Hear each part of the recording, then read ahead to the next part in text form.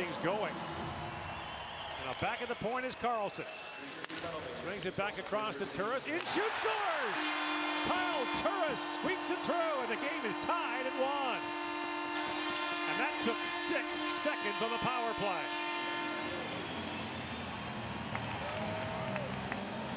I ran into Kyle Turris after the game in Calgary, and when he'd hit the crossbar a couple of times, I said, well, maybe next game shoot it an inch lower. and he was like, yeah, I know, I know. But he was pretty frustrated. You want to get off to a good start.